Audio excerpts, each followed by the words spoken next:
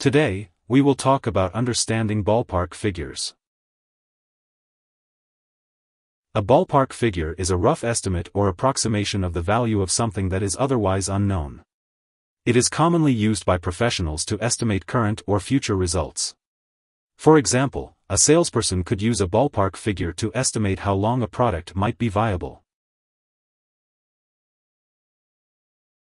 Ballpark figures are estimates used to move discussions or deals forward when the exact measurement of the size or amount of something cannot yet be determined.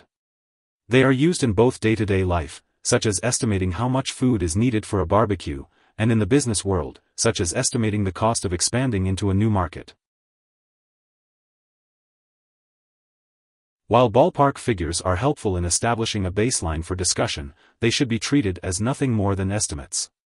Major business and financial decisions should not be made based solely on these numbers, as they are not hard figures. It is important to remember that a ballpark figure is just an estimate, not an accurate read of something.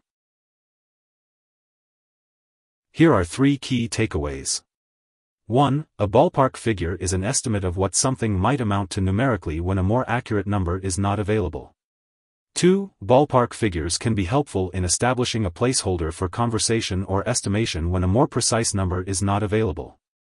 3. It is important to remember that a ballpark figure is just an estimate, not an accurate read of something.